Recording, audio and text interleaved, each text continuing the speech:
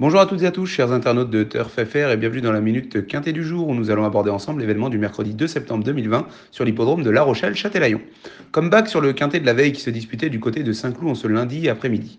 Shielding, le numéro 4, s'impose à la cote de 18 euros alors que la minute quintée l'indiquait en quatrième position.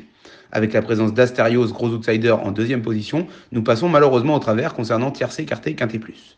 En revanche, du côté du concours de pronos gratuits, certains réalisent de jolis exploits et terminent le mois en beauté.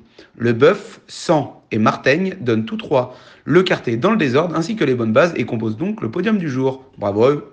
Allez, go la Charente-Maritime et plus particulièrement La Rochelle, Châtelaillon.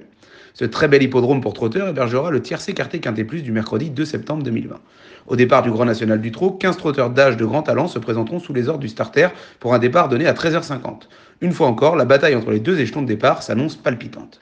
Élite Beaufour, le numéro 8, sera le grandissime favori de cette compétition.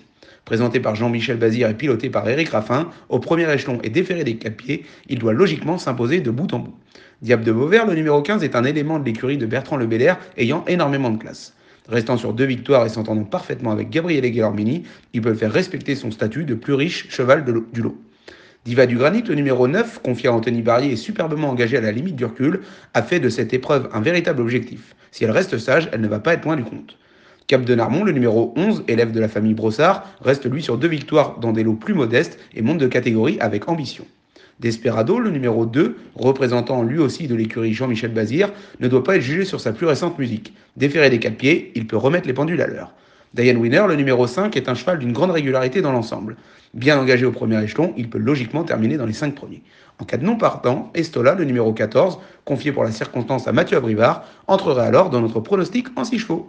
Si vous avez aimé cette vidéo, les amis, partagez-la, lâchez un gros pouce bleu, commentez et abonnez-vous en activant la petite cloche pour être averti des prochaines vidéos. En attendant, nous vous souhaitons à tous un très bon Quintet Plus et vous disons à demain pour une nouvelle Minute Quintet.